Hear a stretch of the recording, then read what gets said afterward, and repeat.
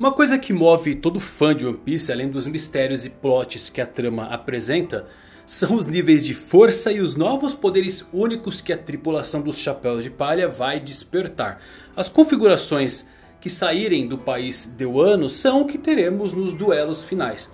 E na grande guerra que vai sacudir o mundo inteiro. Porém nesse episódio temos um vislumbre dos novos poderes de Nico Robin que, além de serem absurdos, também nos dá uma dica muito preciosa de como a tripulação do Luffy vai ser a maior de todos os tempos em renome ou se preferir infâmia. Zoro e Sanji fazem parte do trio monstro ao lado de Luffy e agora alcançam um novo patamar. Eles são as asas do rei pirata. Mas o que isto significa? Quer a explicação definitiva sobre esses mistérios? Então se liga, vou falar nisso.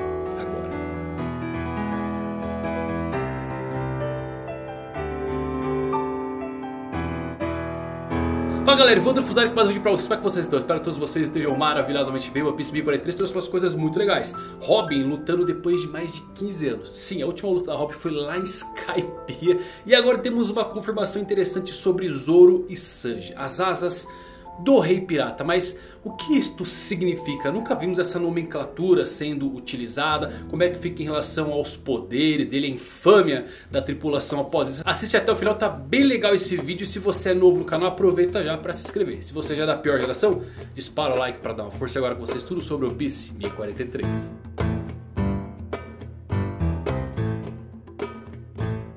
Então vamos lá galera, os subordinados da Black Maria ainda estão de pé e perseguindo tanto a Robin quanto o Brook por um corredor. A Black Maria acaba se juntando a esta perseguição e aqui o anime mudou alguns pontos. Eles colocaram uma ilusão dos piratas Rumbar para no final o Brook desconfiar dela. Só que pelo mangá não temos isso.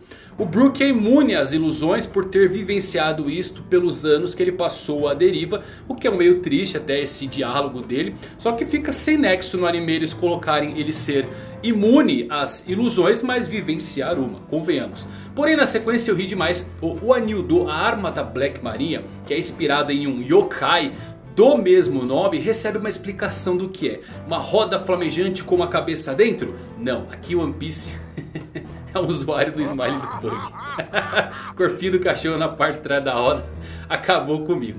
Eu me pergunto como a Black Maria também está gerando essas ilusões que usou na Robin e no Brook pode não ser relacionado à sua fruta porque sabemos que de forma geral esses poderes baseados em hipnose não requerem uma Akuma no Mi. Já vimos o Django e a Miss Golden Week usando poderes assim que não vinham diretamente de um fruto. Mas eu acho que pode ser uma névoa gerada por sua Akuma no Mi, que é quase certeiro. Talvez algum tipo de veneno que a sua aranha ancestral possa criar. Por fim o Brook percebendo que a arma era um ser vivo, deixa o corpo e ataca o Anildo com seu Cold Soul congelando o Pug. Maria diz que eles não podem escapar e que Robin é alvo de todos os figurões nesse ponto. Esse é o tipo de diálogo que responde aquelas dúvidas de por que nunca ninguém foi atrás da Robin se ela sabe ler os poligrifes. Na verdade todos estão atrás dela e essa fala comprova isso. A Black Maria e a Robin ficam cara a cara e a Maria zomba do Sanji por chorar por socorro. A Tobiropo tira uma errada conclusão sobre a força do bando baseado em como Sanji caiu nos seus encantos e por ele ter a segunda maior recompensa da tripulação. O Brook até ri disso e deixa Robin cuidando de Marin enquanto foca nos seus subordinados. Robin que não deixa barato diz que Sanji é uma pessoa muito gentil e que Black Maria nunca vai entender o que quer dizer o chamado de ajuda do Sanji. Ele é digno de ser as asas do rei pirata. E uma versão gigante da Robin floresce atrás dela e começa a lutar com Maria. E uau, depois de tanto tempo veremos Robin em ação. Pelo menos na animação estou bem ansioso. Dress Rosa mostrou um pouco dela. E a última grande luta da Robin foi há 15 anos atrás em Skypiea. E essa forma da Robin isso vai ser absurdo demais. Inclusive essa aqui foi a minha luta favorita dos Tobiropo lá pelo mangá. Já a frase dela sobre Maria não entender Sanji. Essa linha pega forte né galera. Especialmente vindo da Robin que recusou a pedir ajuda lá em Enies Lobby. E isso é uma coisa que eu gosto no bando do Luffy. Os chapéus de palha, eles sempre estão se elevando uns aos outros. Com exceção do Sanji do Zoro, né? Primeiro o Sanji disse não subestime Nico Robin, agora vem esse momento. Agora essa parte das asas dos reis piratas é muito melhor do que o braço direito e o braço esquerdo do rei pirata. Eu acho que é uma ótima maneira de enfatizar o quão dependente o Luffy é desses dois. Frequentemente um braço direito é pouco mais do que apenas um peão mais forte do que o seu chefe. Mas Sanji e Zoro são muito mais do que isso. O Zoro e o Sanji sendo as asas de Luffy se torna muito apropriada porque representa os lados diferentes dele. Eu acho que é também por isso que os seus sonhos são bem paralelos aos de Luffy de maneiras particulares.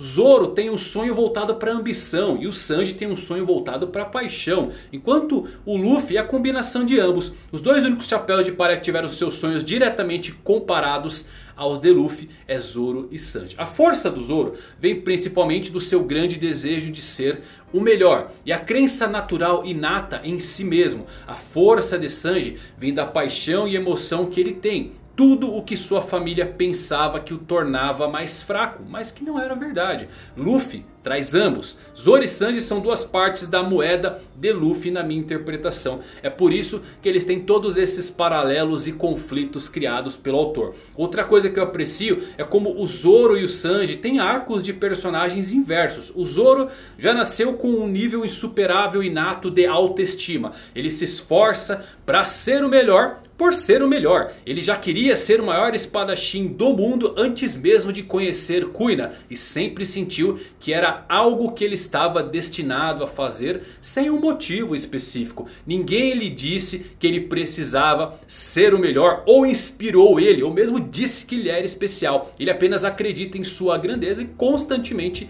exala isso desde muito jovem. Zoro acredita fortemente no destino que lhe permite apostar em si mesmo em situações como quando ele pegou a sua lâmina amaldiçoada e tem a mentalidade de que se ele morrer ele só deveria chegar tão longe naquele ponto. E já quando ele conheceu o Luffy, o seu sonho estava acima de tudo, até mesmo da sua própria vida. E ele disse ao Luffy que o mataria se ele atrapalhasse isso. Eu gosto muito da cena do Zoro pedindo ajuda para o Mihawk para treiná-lo. Mostrando uma certa mudança disso, uma continuação de porque ele não está apenas querendo ser o maior espadachim do mundo pelo orgulho da sua posição. Ele precisa ser o mais forte para apoiar Luffy e a tripulação aqui. Então ele se tornou humilde. Sua tripulação e seu capitão valem esse sacrifício. Esse é o presente que o Luffy deu a ele. E ele precisa ser o mais forte para apoiar Luffy e a tripulação. Sanji por outro lado nasceu em uma família que dizia que ele era especial e destinado à grandeza. Embora em seu coração ele só estivesse realmente interessado em suas paixões. Então pouco depois, quando criança, o conceito desta grandeza foi arrancado dele por conta de quem ele era. A educação do Sanji com a Germa causou sérios danos ao seu senso de autoestima e criou uma intensa natureza de auto-sacrifício no Sanji. Sua família o submeteu a abusos físicos, psicológicos e emocionais de forma muito consistente para cultivar a ideia de que ele não valia nada e uma idade muito tenra. Vemos a sua natureza de auto-sacrifício ao longo de toda a história, na maneira como ele sempre coloca o bem-estar da sua tripulação acima do seu e sua disposição de morrer para proteger o Baratier pelo bem de Zef. Ele tem estado muito disposto a sacrificar a sua vida pelos sonhos de outras pessoas porque ele foi ensinado que ele e os seus sonhos não valiam nada. E esse momento de Black Maria foi um momento de recompensa muito mais importante para o desenvolvimento do personagem Sanji. Porque mostrou depois de Holy Cake que ele ainda era capaz de permitir que as pessoas com quem ele se importava e em que ele confiava arriscassem para salvá-lo pela primeira vez. Porque ele vale a pena. Esse é o presente que o Luffy deu ao Sanji também. Simplesmente genial a composição das asas do Rei Pirata. Por fim no Porto Tokage temos Shinobu e Momonosuke se encontrando com Luffy e os Piratas do Coração que estão alimentando o Chapéu de Palha. Ele precisa de muito mais carne para conseguir voltar ativa. O Momonosuke está mais uma vez chorando por Kinebon e o Kiko. E o Luffy diz a ele para parar e se preocupar com isso mais tarde. Já que ele ainda é o general dos samurais. Luffy diz que desta vez ele não perderá. Caribou surge então e os observando entre os escombros. Ele está preocupado se o Luffy pode vencer esse duelo contra Kaido ou não, já que sem isso ele não poderá deixar o país de Wano. Finalizamos com Luffy levantando o braço e apontando para a ilha voadora de Onigashima nos céus, dizendo para Momonosuke o levar voando como um dragão de volta e vamos lá galera, muita coisa aqui acontecendo. A primeira é que Kaido certamente ficará confuso quando ver Momonosuke como um dragão junto de Luffy. O Kaido ele ainda não viu a forma dracônica do Momonosuke, que deve pelo menos aí causar um certo espanto na fera. Agora a questão é Caribou, ele não surgiu aqui por nada e a pergunta é... Como Caribou será usado mais à frente na trama, desde a ilha dos homens peixes ele vem coletando informações muito relevantes como a identidade de Poseidon. Ele disse que queria dizer aquela pessoa para receber suas boas graças. Eu achava que seriam os Rocks aqui o ano, mas pelo jeito é alguém de fora do país deu ano como alguém novo ou quem sabe o Barba Negra e seus piratas. Se há uma coisa que aprendemos com a história de capa principalmente é que Caribou ele é um oportunista primordial e tem uma péssima sorte. Alternativamente você poderia chamar isto de destino. E isso é a única coisa que os piratas do Barba Negra acreditam mais do que qualquer outra coisa. É nisso que o Caribou pode ser o gatilho de coisas maiores para o enredo de One Piece. E é isso meus amigos, mais um episódio muito interessante Trazendo essa composição das asas do Rei Pirata. Eu gosto como forma uma espécie de yin yang do Luffy né? Sanji e Zoro complementam o chapéu de palha, correm juntos é excelente como Oda desenvolve esses personagens. E pergunto para você, como você acha que fica essa composição, essa infâmia da tripulação? Eles serão chamados assim agora, asas do rei pirata? Ou teremos um comandante ou algum outro tipo de nomenclatura? Bom, deixe seus pensamentos aqui nos comentários, quero saber o que você acha. Se você gostou desse vídeo, deixa um like também, tá bom? Até a próxima, eu por assistir, fui!